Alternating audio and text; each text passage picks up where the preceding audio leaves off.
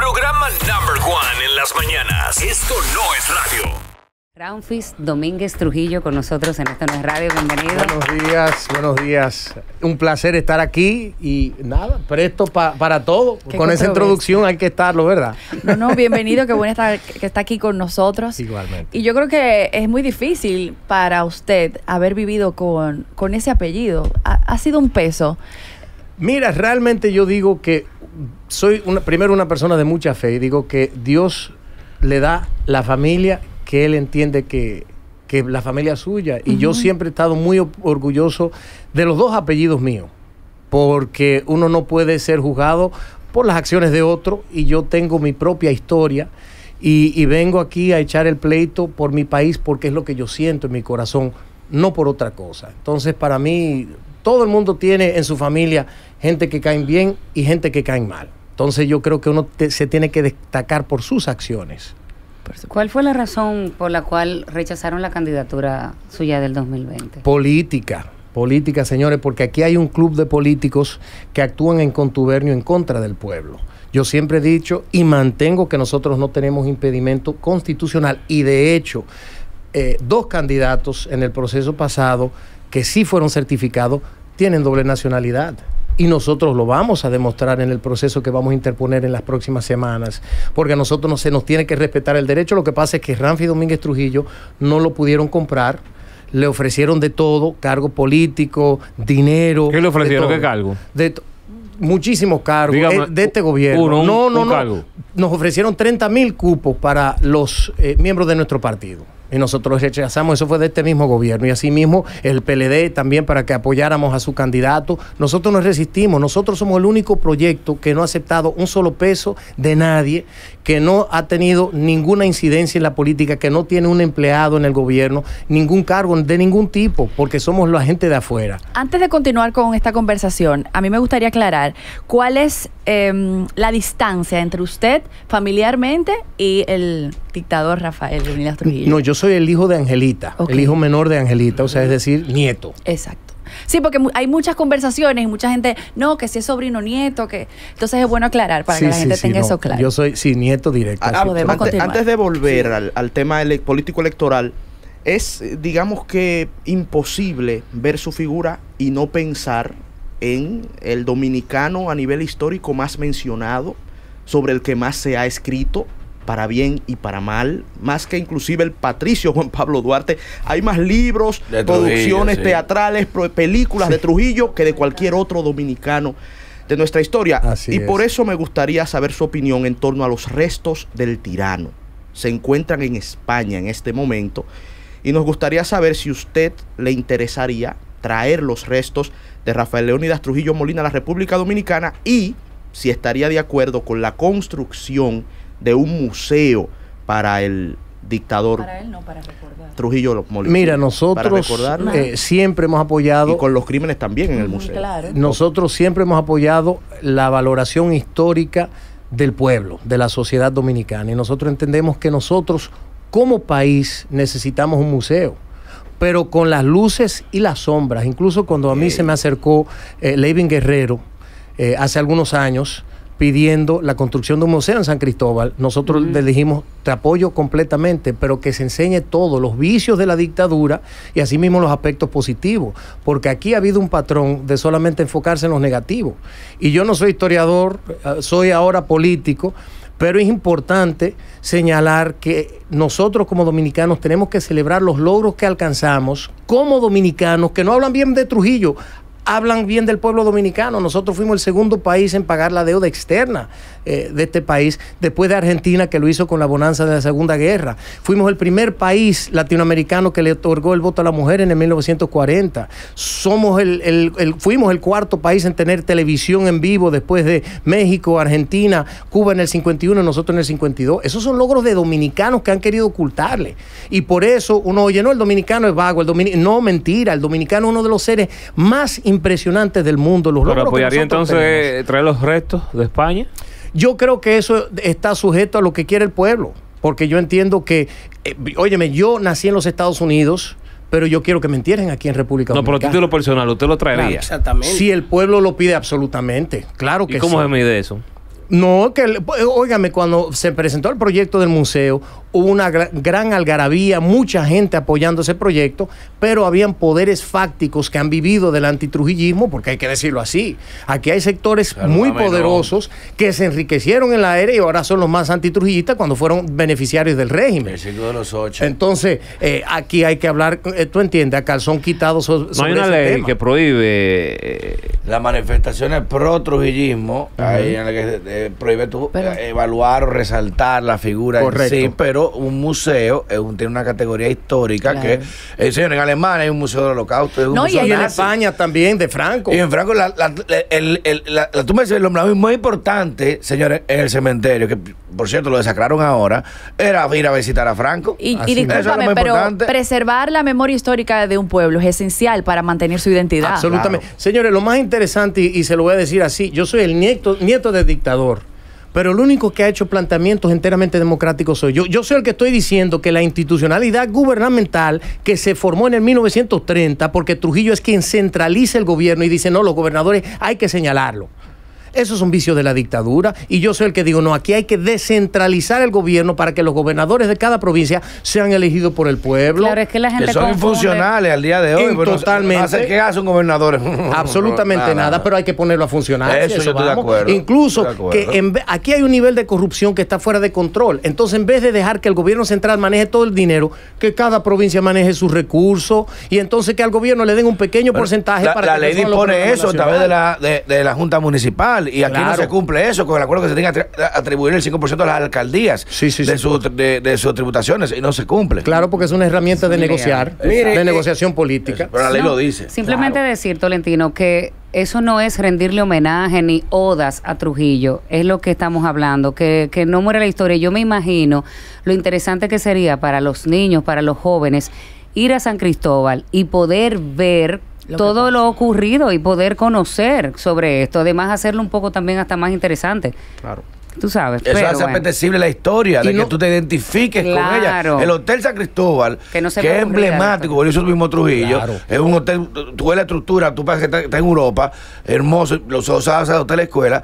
Tiene una historia riquísima de cómo se hospedaba allá, de cómo se funcionaba, cuando el gobernador se quedaba allá. O sea que hay mucha historia. La toma, cuando Trujillo hizo la primera reunión iberoamericana de líderes. Señores, eh, eh, en un río una piscina natural que se construyó, un arquitecto italiano. Eso es hermoso y son cosas no, no hay que, como dice, rendir oda, pero coño, es un tema del dominicano, no de un líder ni de Como le dije, es sea. un tema de identidad y para nosotros preservarlo tenemos que recordar todo, lo bueno y, Y lo, lo malo, malo. absolutamente. Porque es un fragmento bastante grande de nuestra historia. Correcto. Y si nosotros tapamos ese sol así, con la mano. no, es verdad. Si nos- es porque No, es algo muy así. importante, muy fuerte. Si Señores, tú olvidas esa parte. ¿Ustedes creen que es posible en momentos donde se están tumbando eh, estatuas de Colón y, Ah, y se- Pero- se, quieren borrar historia? Pero yo creo problema. que si nosotros no, no, No racionalizamos eso que pasó, nosotros no podemos entender de dónde estamos Jamás ahora. El pueblo Porque que- hay un tema de resentimiento, hay un tema de cómo nosotros vemos el gobierno, que tiene mucho que ver con eso que sucedió. El pueblo que no conoce su historia está condenado a repetir. Pablo Bueno, Escobar. nosotros, no, no, Oye, no, señores, nosotros mundo sabe hoy si da- en la funcionalidad Bonaparte. del gobierno estamos repitiendo los vicios de la dictadura Claro. en muchos aspectos Terrible. y eso hay que borrarlo y el, que- el único que ha venido a enfrentar eso soy yo. Y ya no te matan a tiro, te matan a cheque ahora. Sí, Y entonces- y de Rafi, y si usted está vendiendo como un oveja mansa y después viene con la batuta del abuelo. Señores, yo mira, tú sabes, tú sabes lo que pasa. Mancito, mira, es es la que la- circunstancias no están dadas para eso. ¿Tú crees? no, pues, sin lugar En a un dudas. país no. presidencialista, ¿cómo No, no, es? no. Mira, el pueblo está despierto, señores. El pueblo está despierto. ¿Por qué tú crees que quitaron la mascarilla? Eso es un tema populismo. Ay, ay, es ay, un tema de populismo, señores. Porque este es un gobierno que se maneja. El presidente dice: Ven acá, ¿qué dicen las redes hoy? Ah, pues vamos a hacer un pronunciamiento mañana. Se maneja un exclusivamente por las redes. Aquí hay que ponerse los pantalones para resolver los problemas de este país, no mediáticamente. Aquí la, la policía, venimos con una reforma que tiene cuando, cuando trajo a Giuliani aquí hace dos años, estaban hablando de una reforma y ahora que vienen a empezar No, ese no, ya no es proceso. jefe, se llama director. No, director. Permiso, Entonces, macho, mucho cuidado, ¿eh? Los salarios de los policías, ¿a dónde están? Que le prometió un aumento, no lo ha hecho. Entonces, aquí hay que resolver problemas y si hace falta mano dura. Sí, pero eso la mano te- dura de la ley. Eh, mira, Eso que dice ley. Santiago eh, es, real, nos da un poco de miedo. no, claro, porque, óyeme, hay cosas que se heredan que no se hurtan. Pero yo te voy a decir una cosa. un criminal, un violador, ¿eso se hereda? Absolutamente no. No, Entonces, pero- los vicios de, una, de un ser humano, de su carácter, eso no se hereda. Pero aparte de eso, ¿a dónde está mi formación? Mm. Yo me formé en los Estados Unidos. Trujillo es producto de su época. Del conchoprimismo aquí en República Dominicana, de los norteamericanos y la ocupación del Lo mismo 16. gringo es él. Señores, yo me formé completamente en los Estados Unidos. Yo, él, todas las propuestas de nosotros son democráticas. Y se le pueden preguntar al equipo de nosotros. A mí me dicen que yo soy excesivamente democrático. Incluso los estatutos de nuestro partido son los estatutos más democráticos. Y la gente de mi, de mi entorno, porque aquí todos los partidos políticos, el presidente tiene poderes omnímodos de sacar, de hacer esto. Yo le dije, a mí yo no quiero eso. Si yo no sirvo, que me saquen del partido, porque esto no es un partido de Ranfi. El Partido de Esperanza Democrática es un partido del pueblo. Y yo todos esos acápites que le dan poderes al, al presidente, yo los quité. Porque yo entiendo que nosotros tenemos que poner el ejemplo desde ya. Lo que uno va a hacer en el gobierno, lo empieza ahora.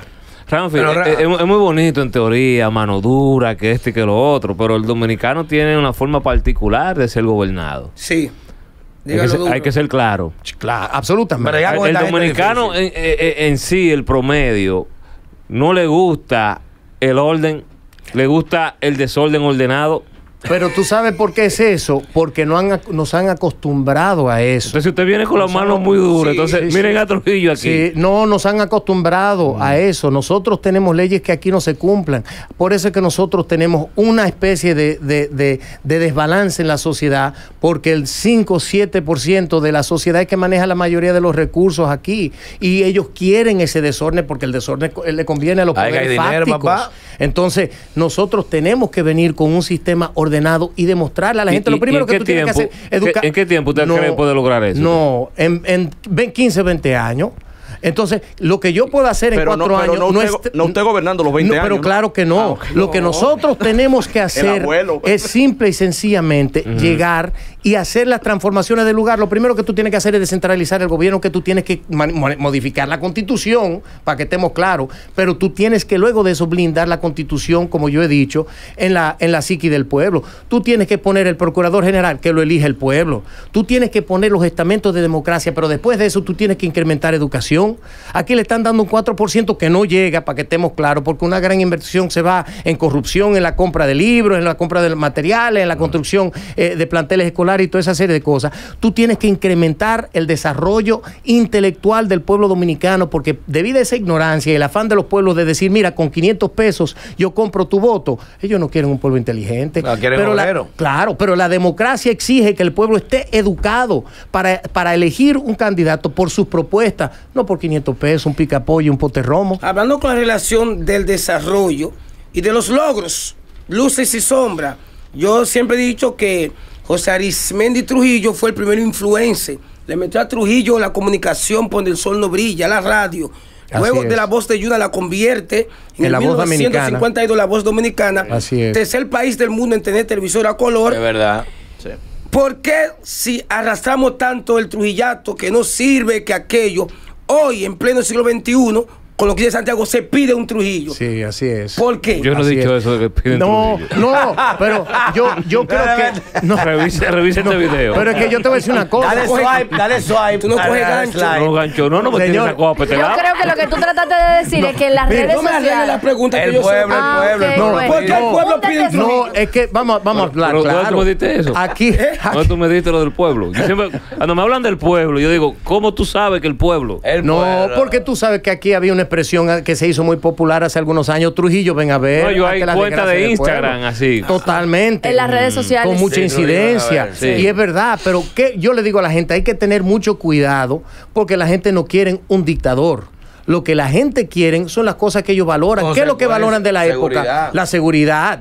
Incluso cuando nosotros hicimos encuestas, esa era una de las cosas preponderantes. La gente decía la seguridad que se vivía en ese momento. Está bien.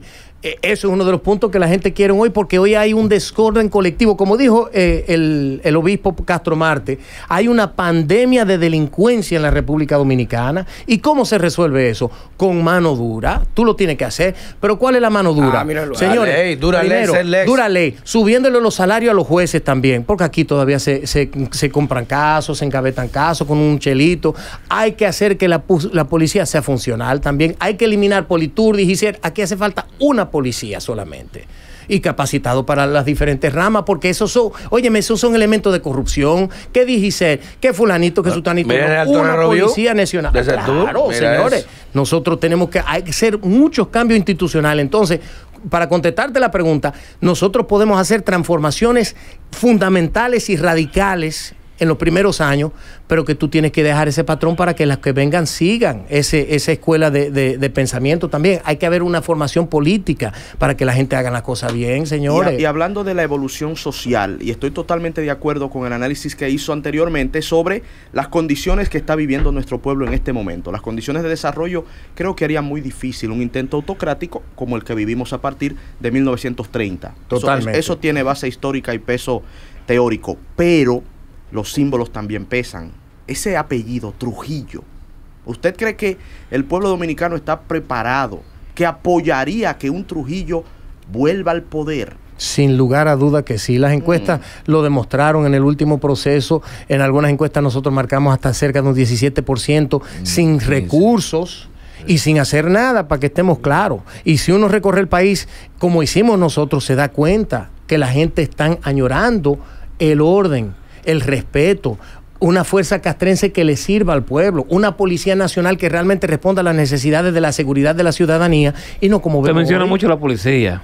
Perdón, sí, claro. ¿Por qué? Porque es importante, Santiago, porque tú ves hoy que nosotros tenemos una falta de capacitación tremenda dentro de la policía. Policía que eso es algo totalmente común. No, que un DGCET que paró a fulanito y lo atacó. No, que un policía agarró a un anciano. No, que el policía... Entonces, eso es vergonzoso para nosotros. Y para nosotros poder tener el criterio de orden y respeto, necesitamos a la policía que sea capacitada, que puedan vivir. Esos son jóvenes que entregan su vida por la patria. Entonces nosotros tenemos que compensar su trabajo, que puedan comprar una casa, que puedan darle de comer a sus hijos, que tengan un buen sistema de educación para ellos, para que si ellos, tú le quitas todos los problemas de encima un policía y lo que él va a hacer es enfocarse en, resolver la seguridad del país, no en que mire, este narcotraficante me está ofreciendo tanto y yo como no tengo que comer, como no tengo eh, cómo sustentar a mi familia, yo no lo estoy justificando, pero se la tiene que buscar.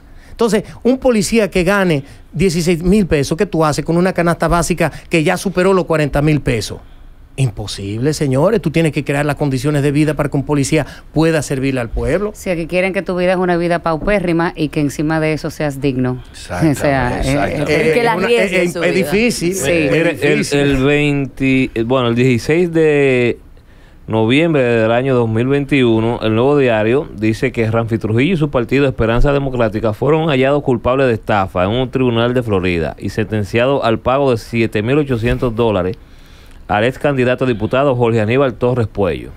Re- repite la cantidad: 7.800 dólares. Sí. Señores, Sin llegar al poder Sí. y ya hay lío con 7.800 no, no, te, voy, dólares. te voy a decir una cosa: ese no es el único caso. Sí. Ese fue el único caso que nosotros perdimos temporalmente por no hacerle caso. A mí me demandaron por un millón de dólares, un empresario también. Pero que- este caso en específico, ¿qué sucedió? Su- Oye, ese muchacho nunca dio ese dinero. Ese caso está en apelación y yo te puedo enseñar incluso la cuenta de abogado. Ya yo he pagado 33 mil dólares en abogado por un caso de 7.800. ¿Por qué? Porque yo tengo que defender la moral del partido y nosotros vamos a ganar. El caso está en apelación y se va a ventilar ¿Y- y- ahora y- en junio. y qué- y qué- cómo se arma el caso? Sencillamente, él presenta lo que le llaman allá en Estados Unidos la Corte de Reclamos Menores, que tú conoces, el Small Claims Court. En el Small Claims Court, si tú vas como un independiente sin abogado, la Corte te favorece, porque las reglas de esa Corte son diferentes a la Corte normal y corriente. Entonces él presenta una demanda que incluso en la demanda, él pone 7 mil, 8 mil y pico de dólares y cuando le dicen, no, no, mira, eh, aquí es nada más de 8 mil para abajo, entonces le cambia y le puso... 8.500 para abajo. Exacto, entonces él pone 7.800 dólares, pero él no pudo ni tan siquiera pagar el caso de la corte. Si tú vas a la corte y buscas, te va de, en, en- ¿Y qué le alega con el dinero? Que él nos dio un dinero a nosotros, que nunca lo dio, ni tuvo cómo demostrarlo, que para la campaña. Eso es lo que la Dice, candidatura dice de ex, No, para la candidato, candidatura dice. de nosotros. Claro, dice candidato. Dice Sí. ex candidato a diputado. ¿Se le ofreció una candidatura a él o No, algo? no, no, no, no, para nada. Él simplemente alega que él le dio al partido o al Como proyecto presidencial como una donación y que como a mí no me certificaron que eso es fraude. Eso es lo que él alega, básicamente. Su campaña de diputado, ustedes pueden, pueden preguntar allá, ese hombre tiene un historial delictivo de tráfico de niños, de un sinnúmero de cosas. Búsquenlo en las redes sociales. Ese hombre eh, está, eh, o sea, quemado. Pero su mamá es parte del PNBC y él, lo, un empresario de allá fuerte que nos demandó a nosotros también, está detrás de él diciéndole, enchinchándolo, no, dale, dale, dale. Señores, a nosotros no nos han hecho tanto daño. Yo tengo un año y medio bajo investigación de la FBI porque aquí el gobierno hizo un comparte, empezaron a correr un rumor de que yo me había robado, porque el número famoso son 5 millones de dólares. Primero que yo me Sí, robé 5 dijeron millones del del- BNB. del BNB. No, no o sea, del ¿usted ha sido BNB. entrevistado por el FBI? Yo, se aparecieron a mi casa. Me han ya. tocado la puerta. Claro, pero por- no por el BNB, sino porque aquí pusieron un artículo, un medio de esto de, de mala muerte, que yo me había robado 5 millones de, de- cinco de millones de dólares de campaña. No, no, y, Y no- que, que supuestamente fue contratado para un tema eh, con una compañía extranjera y que nunca se hizo el trabajo. Que no, ese es otro, ese fue el caso del y, y ustedes, no fil- ustedes no filtran quiénes le donan. Exacto. Es que nosotros no hemos tenido donantes importantes. Bueno, pues te hablo de una donación ahora. No, no, no. Pero no, es que yo no recibí 5 millones. Ellos alegan que No, no, yo no, estoy recibí hablando del, 5 del millones. caso del, De del los ex diputado. Claro, pero es que él nunca nos dio dinero tampoco. Yo aporté el 95% de los recursos de mi campaña. Yo. O sea, nosotros en los Estados Unidos, para que tengan claro, recaudamos un total de 97 mil dólares en tres años. Nosotros, aquí una campaña presidencial, se te van 100 mil dólares en menos de un mes. Miles de millones, papá, de pesos. Y una Entonces- pregunta, una pregunta ¿Cómo porque tú lo sabes eso, Casal? ¿Y cómo tú lo sabes? Tú también lo... No, yo te estoy preguntando ¿Cómo tú lo sabes? ¿Y cómo tú te lo Él dio el dato y tú A- dijiste- Aquí lo sabemos todo el mundo, cómo todos sabemos una campaña Yo no sé presidencial. de eso. Yo no sé mucho de eso. Eh, ¿Tú fuiste candidato? Nadie sabe ya, nadie sabe. Eh, Tú sabes que tú estás tratando de hacer dos cosas muy difíciles. Número uno, eh, levantar tu figura política. Y número dos, armar y darle identidad a un partido. ¿Por qué decidir hacer tu propio partido y no eh, relacionarte con alguno de los que están ya? ¿Es que no te gustan sus ideologías o no te le permiten el participar en Ah, ellos? La misma pregunta que explique después que haga eso. ¿Qué pasó en el PDI? ¿Qué pasó con Ancon? Y muchas cosas que todavía hay aquí rumores que no, que, Que si le pagan. que si no, pagaron, eh. que no. Para que explique eso. Mira, to- es una excelente pregunta. Aquí, aquí todos los partidos son iguales. Todos tienen un fin. Los partidos bisagra, que son los partidos pequeños, como le dicen, lo que buscan es aglutinar gente para entonces ir a negociar al gobierno y decirle, mira, dame tanto cargo, dame dinero y yo te voy a dar mi gente y te voy a apoyar. Todos los partidos son así. En el primer partido hicieron lo mismo, se dieron cuenta del arrastre que yo tenía y querían utilizar eso para luego negociar. Yo me retiré cuando vi eso porque yo no voy a permitir que nadie juegue conmigo. Al PNBC nosotros le entregamos 250 mil dólares para formar parte de ello y para eh, que nos dieran la candidatura presidencial. A espaldas nuestras fueron y hicieron un pacto con el PLD y violentando los acuerdos que nosotros hicimos. Entonces nos dimos cuenta que todos los partidos son iguales. Lo que buscan es cuarto. Nosotros no. Este es un partido limpio y yo dije, vamos a retirarnos del escenario político. Y yo llevo un año y medio desde el 6 de julio del 2020 recorriendo el país, creando una infraestructura y gracias a Dios entregamos en octubre, con la ley te exige un par, una casa nacional, nosotros entregamos con 46 locales, ya tenemos más de 50 a nivel nacional, entregamos con dirigencia en cada provincia, en cada municipio, en cada uno de los distritos municipales, 235 distritos municipales y entregamos con un padrón de 478.563 personas. Es decir, que más del PRM cuando entregó inicialmente, que fueron 319.000. Entonces, ya nosotros tenemos un partido limpio, puro, transparente, y la gente sabe que con nosotros no van a poder jugar. Ya superamos el proceso técnico dentro de la Junta y ya somos un partido debidamente constituido y trabajando sobre la marcha. Eh, este sábado salimos para La Vega, eh, para San Francisco y recorriendo el país, pero un partido que no se va a doblegar que no se va a vender, que va a mantener puro y, o puro y simplemente eh, los lineamientos de, de ese- Eh, de esa eh, agrupación. propuestas innovadoras, porque cuando estamos con un candidato a la presidencia siempre nos hablan de mano dura con la policía, que la seguridad, que la Lo mismo educación. siempre. Lo mismo, que viene un robot de Marte, hay algo nuevo, innovador, real. Mira, eh, bueno, una gran cantidad de las propuestas innovadoras el presidente eh, las acogió y yo las celebro. Lo que digo es que siempre y cuando se apliquen con el carácter que fueron concebidos, yo se lo celebro. ¿Cómo cuáles? El, el muro, el muro fronterizo, nosotros fuimos los que eh, concebimos esa idea hace años, dijimos que hacía falta un muro fronterizo, incluso en la campaña pasada Con toda nosotros esta, dijimos- esta tecnología que hay, es necesario un muro real. Totalmente necesario. Mm. Yo, si- yo te invito, Santiago, para que vayamos a la frontera, co- recorrer de, de Pedernales hasta Dajabón. Que vayamos por la carretera entre Jimaní y Hondo Valle, que pasemos por Pino del Edén, para que tú veas las condiciones realmente limítrofes y te des cuenta de la necesidad que hace falta. Vamos a Bánica, el río Artibonito, para que tú veas cómo la gente entra y salen. Sí. Eso es un peligro. Es una frontera abierta. Abierta Esa completamente. Abierta. Entonces, ¿qué pasa? No solo es el tema haitiano, que es un tema a resolver, pero más allá de eso, el contrabando de la frontera, el tráfico de armas, el tráfico de droga, El tráfico de El tráfico niños. de el tráfico niños, de sí. niños, que ahí viene una película. y, y que- siempre, y siempre donde hay un humano, olvídense de esa Mira, vaina. que ahí Ah, viene bien. una película muy interesante sí. que sale en los próximos meses de Eduardo Verástegui.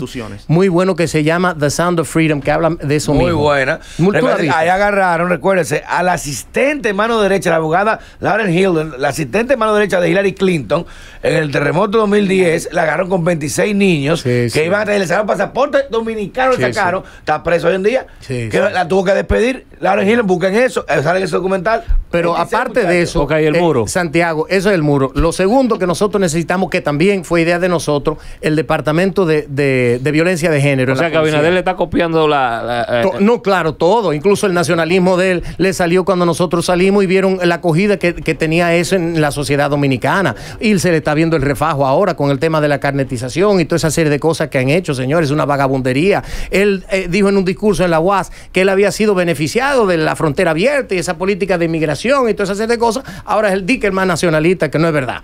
Entonces, eso es importantísimo. Pero más allá de eso, nosotros entendemos que la educación es básica. Aquí hay una propuesta que a mí me encanta y es para la juventud, porque yo entiendo que a la juventud se le tiene que dar un espaldarazo. Allá en Suiza hay un modelo que nosotros queremos implementar aquí. En Suiza todos los muchachos, porque uno de los, de los problemas que nosotros tenemos en la educación es el abandono escolar. Entonces, dicen los, eh, los expertos que tú tienes que cerrar la brecha. ¿Y en Suiza qué hicieron? A cada estudiante le daban un presupuesto para que con ese presupuesto, luego de terminar las clases, puedan ir a inscribirse en un club de pelota, un club de baloncesto, tomar clases de piano, una clase de pintura Bueno, la- para elevar la el nivel se van a dar vida, intelectual. lo va a- Que se asegure que sea Aquí para se van a. No, no hay dinero. Es que No, son no, 9.90 por pila. No, pero no en efectivo, que se lo dan. No, no, claro que Son no. como unos- Claro, unos, unos, unos unos bonos, que se. Lo convierten en Bitcoin los tigres. No, pero hay que Hacen una moneda virtual, oye, 990. eh, Santiago, eh, cripto. ley y orden, ley y orden. Pero, pero hay que darle un espaldarazo al- a los jóvenes de hoy con, con ideas innovadoras, innovadoras para que se puedan educar. Esa es otra propuesta interesante para nosotros. Igual el, el tema de, de la deuda pública aquí. Nosotros vinimos con la idea de que hay que renegociar la deuda pública con una moratoria de 5 o 6 años. ¿Para qué? Señores, Hoy el servicio a la deuda, yo no sé si ustedes vieron ayer, promulgaron un proyecto de bonos, una emisión de bonos de 3.500 millones de dólares. Mil millones para extender el plazo para una parte del servicio a la deuda. Dos- intereses para que la gente Sí, entienda. exacto, cuatro años y el otro que 2.800 millones para cubrir gastos corrientes del país. Yo digo que aquí se tiene que renegociar la deuda pública con una moratoria de cinco o seis años y ese servicio a la deuda que hoy representa un 30% del presupuesto, invertirlo en el campo. Aquí nosotros somos un país eminentemente rural, sin embargo, el- el- la, La agricultura, agricultura. incide en el Producto Interno Bruto menos del 6%. Nosotros tenemos que incrementar ese número. Hoy estamos utilizando solamente el 16% de las tierras hábiles para cosechar. Vamos a subir ese monto Ah, a 80, la 100%. importación, el de ah, la claro. Ah, Señores, no querían mambo. Pero por eso es, Ah. por eso es que aquí tú pagas un precio de una yuca importada Y los plátanos están de Costa Rica. Claro, porque, en vez de producirlo aquí. porque el 75% de la fruta y los vegetales que nosotros producimos aquí se exportan. Entonces, nosotros somos, los, lo, excúseme la expresión, los pendejos que pagamos productos importados. ¿Tú entiendes? Cosas que se cosechan aquí. Aquí hay que bajar la canasta básica. es una forma pero- importante de Pero hacerlo. perdón, perdón, para hacerte a ti esa pregunta, porque él es economista y brillante. Cuando aquí nos atrasamos un mes, nos ponen mil millones de atraso, de, de mora. Entonces, poner a cinco años moratorio, ¿cómo eso económicamente valdría? Eso que él acaba de decir pudiera provocar lo que ha sucedido muchas veces en Argentina cuando gana un presidente que habla de renegociar la deuda o siquiera sugiere moratoria en el pago. Cae la bolsa de valores, cae la economía. Eso es muy, eso es muy delicado. En economía es fácil hablar de subir y bajar numeritos. Cuando se llega a la realidad se ve que, que- que hay otros temas que no son tan fáciles de administrar. Pero me gustaría saber, para llegar al poder se necesitan recursos muchos recursos. Usted ha dicho que no recibe dinero del Estado, usted ha dicho que no recibe dinero prácticamente en ningún sector y cuando vimos rápidamente en un minuto y medio, entre alguna pregunta de Santiago Matías y del elenco, usted se ha visto envuelto en escándalos que tienen que ver con dinero. Los ha sorteado de manera positiva, nos comentó, excepto este último que Santiago mencionó y que está en apelación. ¿Cómo usted va a financiar? ¿De, de dónde salen entonces los recursos? Los miles de millones de pesos que, que se necesitan para llegar al poder. Mira, lo primero es que nosotros no es que hemos tenido escándalos de dinero, es que nos han creado escándalos para tratar de desarticular el proyecto. Porque yo he dicho y mantengo incluso, ahí está el reporte de la FBI que nosotros vamos a hacer público luego de la culminación de esa entrevista, un reporte de 500 páginas que demuestra que nosotros pusimos de nuestro peculio personal para la campaña electoral. Ahora, obviamente, nosotros, porque nosotros siempre nos hemos manejado eh, responsablemente. Y lo que siempre he dicho es, nosotros tenemos la obligación de hacer una campaña limpia y pura. Entonces, en los Estados Unidos, que nosotros tenemos un fuerte apoyo dentro de la diáspora dominicana, ¿qué es lo que vamos a hacer nosotros? Allá nosotros tenemos la cultura. Tú das 5 dólares, 10 dólares al mes para la campaña. Y ahí tú puedes buscar todos los millones que hacen falta sin incurrir en, como hacen aquí, dinero del narcotráfico, porque este mismo eh, gobierno recibió mucho dinero del narcotráfico, que no se ha dicho, mucho dinero. A nosotros nos ofrecieron del narcotráfico. ¿Y cómo también. usted lo sabía eso? ¿El? Que, que era un capo que lo estaba ofreciendo dinero. Porque el, el nombre, el nombre, yo ¿Por no voy a. yo, te digo fuera del aire. no lo denunció. Eso está fuera del aire. No, pero hermano, es que nosotros. óyeme, porque yo no estoy en. en, yo no soy del el Ministerio. Público. No, no, no, yo no soy en el Ministerio Público. Nosotros lo que no aceptamos dinero. Yo tengo una responsabilidad de manejarme decorosamente. Ahora, cuando llegue el gobierno, yo tengo la moral para hacer lo que yo tenga que hacer en ese sentido. Sí. ¿Tú entiendes? Pero yo no soy policía. ni Una de- cosa, ¿y de- por qué no empezar gateando y eh, diputados, senadores, y- e ir escalando y no presidente de una vez? Porque aquí hay una pudredumbre en el sistema político. En esos, en esos cupos tú no logras hacer nada.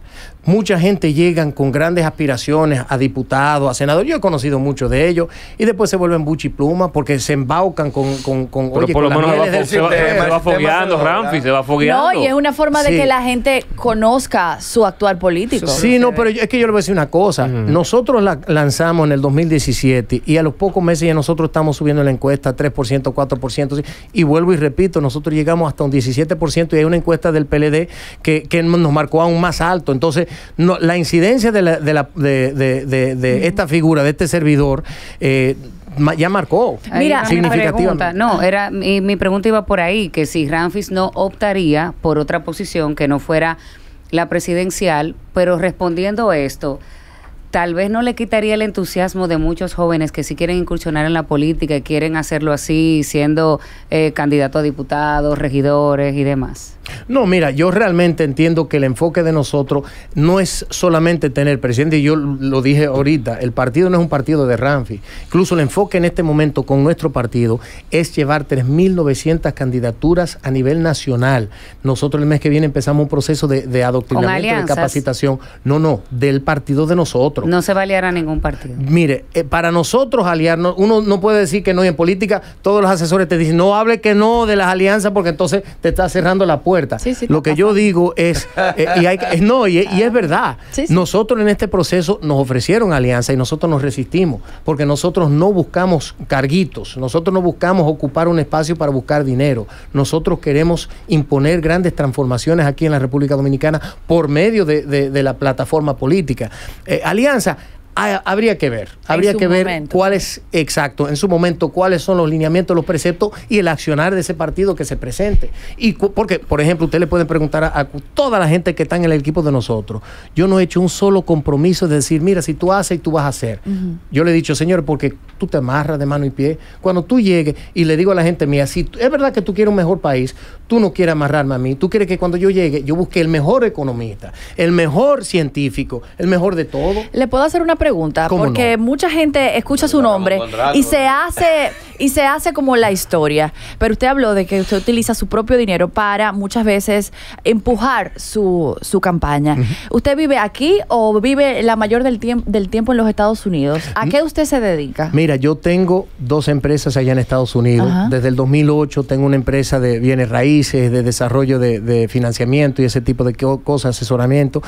Tengo una oficina de arquitectura, una re- representación representamos más de 300 marcas europeas de baño, cocina y todo. No voy a decir compañero porque después Santiago me va a querer cobrar por el espacio.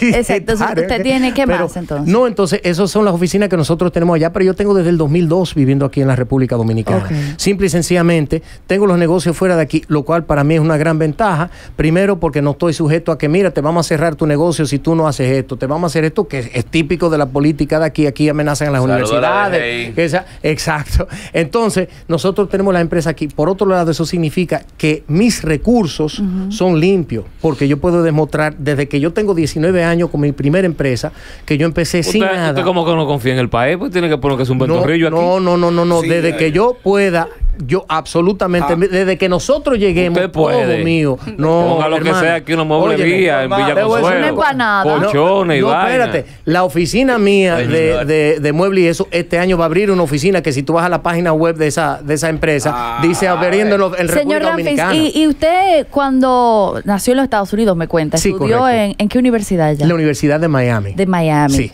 Privada, ¿verdad? Sí, correcto. Entonces, correcto. mucha gente quizás siente que usted le debe al país. Porque usted vive una vida muy acomodada, eh, porque se fue con unos recursos y una fortuna que nos fue robada aquí, porque su padre, ¿verdad? Todos abuelo. conocemos. No, su abuelo, abuelo, abuelo, abuelo, perdón, su abuelo, todo el mundo conoce la historia. ¿Cómo usted se siente? ¿Y siente que tiene esa deuda con la República Dominicana Bueno. por esa vida tan acomodada que vivió en los Estados Unidos? Mira, hay un craso error en decir, no, que Angelita, que fulanito. No todos los Trujillos se llevaron dinero. Ok. No todos los Trujillos se llevaron dinero. Sí hubo que se llevaron. Claro. Y podemos entrar en el proceso histórico y te puedo decir nombre y apellido. No, y pero todo lo que tú dígalo, aproveche. No, no, e- eso más adelante, porque no quiero sonar populista, ni demagogo, ni para complacer a la gente, sino ese es un proceso que, que nosotros en su momento vamos a hablar de eso. Ok. Pero yo le digo una cosa, yo viví una familia, digo, un- un- una vida muy normal allá en los Estados Unidos y cualquier persona se lo puede decir. Yo incluso cuando empecé mi propia empresa, yo no, em- yo no empecé de que con grandes riquezas, yo empecé de cero. Yo incluso cuando empecé mi primera empresa, yo tenía otro trabajo que yo hacía y entonces desarrollaba mi empresa. Y por eso le digo que desde cero ustedes pueden ver cada una de esas declaraciones de renta, cómo fue que O yo sea, me usted no heredó ni un peso del Nada. dinero que se robaron los Trujillo. Absolutamente ni un peso. Lo he dicho públicamente siempre. Todo lo que yo tengo es de mi peculio personal, con altibajo, ¿Y señores. por qué su, su madre no se llevó dinero y los otros sí? No, espérate. Yo te estoy yo no te estoy diciendo que mi madre no sacara. Tú entiendes dinero, pero no es una fortuna, no sé qué. Señores, ella se desarrolló aquí, ella incluso tenía eh, eh, acciones en, en- en la chocolatera y en, en la, en- en la fábrica no sé qué. Ella se llevó su dinero, pero no dinero dije para vivir suntuosamente y toda Y esa usted- serie de cosas como al- exagerado. dijo algo importante. Usted nació en los Estados Unidos. Sí, correcto, sí, sí. Pedro, un ciudadano dominicano que nace en los Estados Unidos puede ser presidente de la República. Sin lugar a dudas. Hay nacionalidad, pero tiene que hacerlo, que sea una renuncia explícita a la nacionalidad o disponer para poder optar por el cargo Correcto. constitucionalmente. ¿Usted Correcto. renunció a la nacionalidad estadounidense? No, no. Nosotros, fíjate, nosotros tenemos eh, una, una condición que a nosotros nos favorece y nosotros lo hemos hablado que es la siguiente. Eh, mis padres eh, se le impuso un impedimento de entrada al Ahí país. eso es una cosa excepcional, correcto. Entonces, mis pades no podían entrar al o sea, país. nació allá por obligación, por exilio obligación. político, sino no por, decisión. obligación. Y lo por asume entonces la. Junta. Es un caso Absolutamente. excepcional. Bueno, la Junta no, tendría que ir al Tribunal Constitucional, que es que tendría la última palabra para interpretar de que, como hay, hay un caso, hay dos precedentes, eh, pero son casos europeos, de que como fueron prácticamente eh, obligados a salir del país, él no pudo nacer aquí nunca. Y, ya, y ya cursó ese proceso. Nosotros estamos en ese proceso ahora. Eh, porque, y como le digo, aquí hay eh, en el proceso pasado dos candidatos, incluso en el 2016 otra candidata también que tiene la doble nacionalidad y no tuvieron problema. El problema conmigo fue una persecución política porque no me dejé comprar.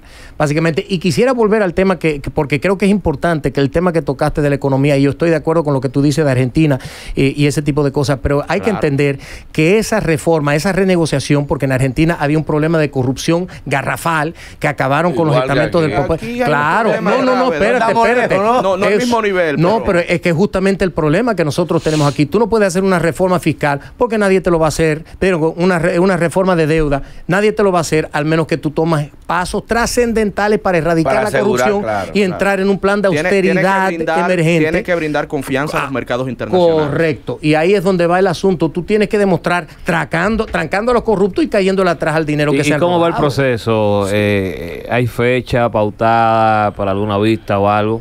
De, ¿Para cuál su- proceso? Su ¿Lo del partido?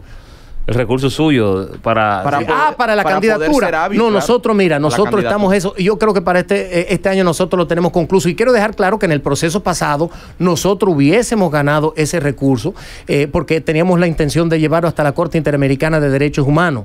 Pero ¿qué pasa? Que cuando llega la pandemia, eh, el presidente se aprovecha y cierra todas las cortes de aquí. Y una de las condiciones para tú ir a la Corte Interamericana de Derechos Humanos, con la prueba que nosotros teníamos de los otros candidatos que habían sido certificados, es que tienes que agotar el proceso local. Pero ya tenemos tiempo para Dígase que todo tenía que haber cursado las instancias correspondientes en el, en sistema judicial, que te rechacen Una- todas. Una para cosa, que- y, para ir y- allá. y- y- tú que eres el abogado de nosotros que nos arrojas luz, y si él renuncia de la ciudadanía estadounidense, Ah, no, automáticamente es hábil. Y Es él, hábil. y él puede, porque él nació allá. Sí, pues Sí, se claro, puede, se claro. puede, Entonces, sí, puede. sí, porque acuérdate que la Constitución dice. se puede renunciar. Claro. Tú puedes perderla por acto de traición eh, a, a la bandera. O sea, eh, Sí, sí, eso yo lo sé, pero puedo renunciar. Y puedes renunciar Pero a él ella. tiene Sí, sí. Porque tiene otra. allá. Lo que Sí. tú no puedes renunciar si no tienes Si no otra. tiene- ok, gracias. No puedes quedarte sin nacionalidad. No, pero no otra, importa, Gaby, para contestar tu pregunta, porque teniendo negocios allá, automáticamente tú calificas para una visa o una residencia allá, que es otra condición. una cosa, ¿por qué entonces no eh, optar por, si, si está tan seguro que puede hacer tantas cosas por el país y evitar todo este trauma de, de estar en tribunales y eso, de, de- de renunciar de la ciudadanía norteamericana para que esté hábil? No, porque lo que pasa es que en el caso de nosotros, acuérdate que la Constitución dice, no es eh, renunciar, tú tienes que esperar después 10 años después de renunciar. Y residiendo aquí. Y residiendo aquí. Digo, resi- lo de residir no hay problema, pero tú tienes que esperar entonces 10 años para ser hábil. Pero en el caso de nosotros, como te digo, es como tú no- meter a una gente presa y después que salen de estar ¿Ya presos. qué tiempo tú- tiene usted con el partido? No, el partido nosotros entregamos en, en- octubre del año pasado. Ya lo reconoció la Junta Central No, ya nosotros superamos la- el proceso técnico, ahora estamos en el proceso de, de aleatorio de verificación. De ver, Yo sí. entiendo que en los Pero hace qué ya tiempo tenía ya la noción de que eh, quería ser presidente de la República usted. No, Mira, es que yo nunca quise incursionar en la política. A mí me llevaron a esto, incluso mi familia se opuso ¿Quién la tajantemente llevó? que yo incursionara. ¿Perdón? ¿Quién lo llevó? ¿Quién? Bueno, entre, entre ellos una de las cosas que, una de las mayores eh, influencias en esa decisión fue Hipólito Mejía, que es eh, tío mío. No sé si ustedes sabían eso. Por el Domínguez. Por el Por el Domínguez, él es Domínguez. primo Sí, por el hermano de mi Domínguez, papá. sí.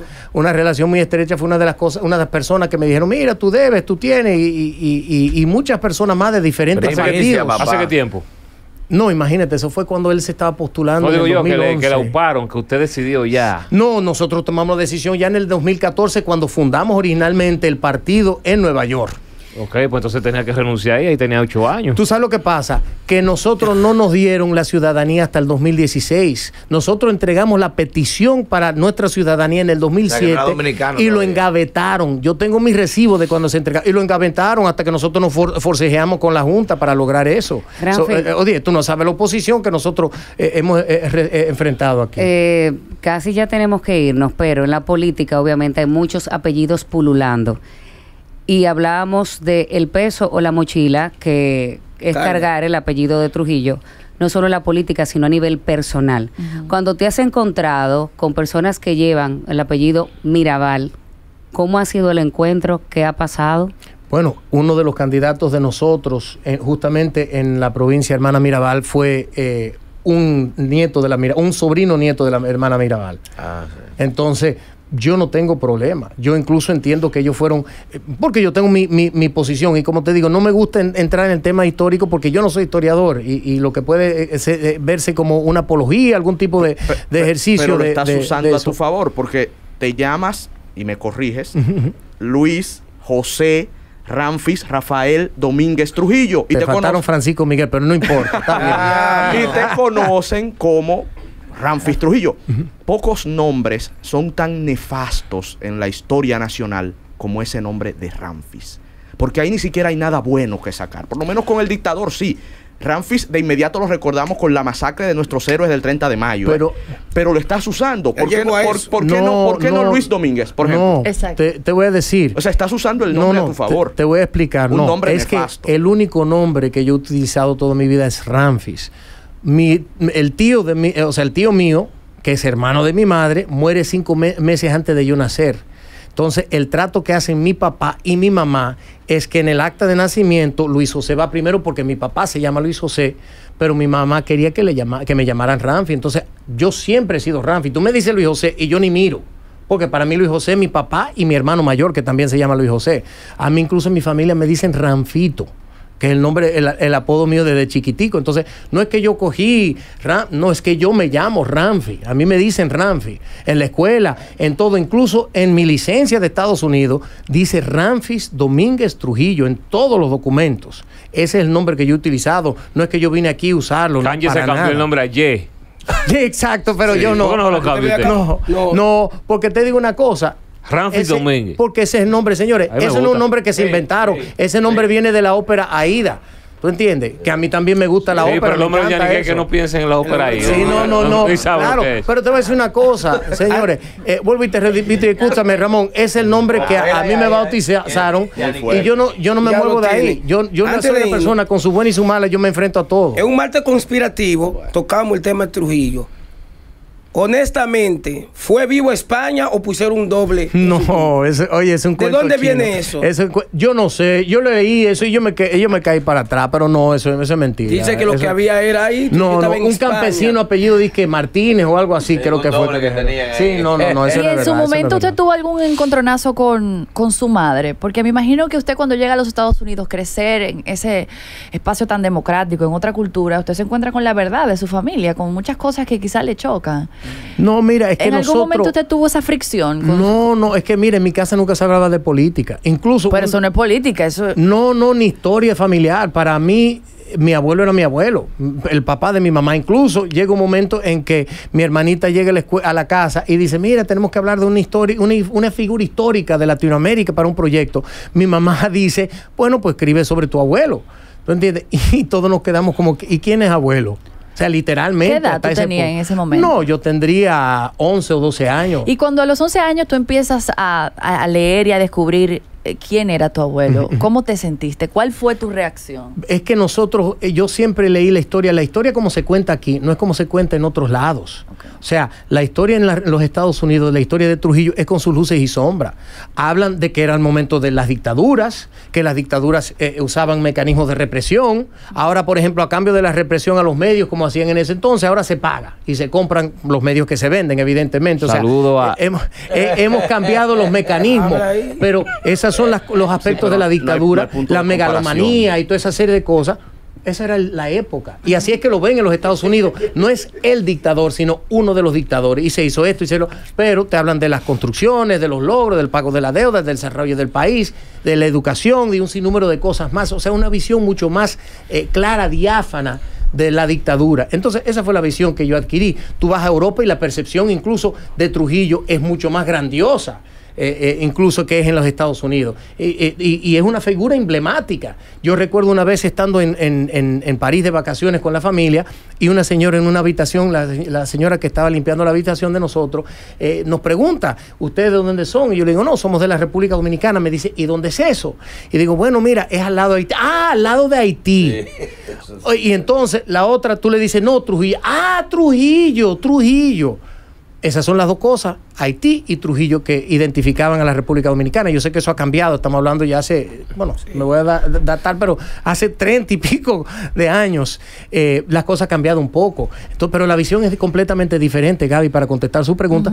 Y encima de eso, nosotros hemos leído mucho. A mí no me pueden venir con cuentos porque yo me he leído todos los libros, los buenos, los ¿De malos. quién es que era el novio Rubirosa? Eh, pues de Flor de Oro. De Flor. De, de Flor de Oro, que murió en el 65. Wow. Bueno, un aplauso para Ramfis. un mensaje Gracias, final ahí a la nación Ramfis y esperamos que esta sea una de tantas entrevistas. No, yo encantado. Muchísimas gracias por la pregunta tan interesante. No, el hombre se Eh, enfrenta a la vaina, ¿viste? de- no. Tiene valor el tipo. No, no, sí. Sí, él no rodea, el tipo está bien. No, sí.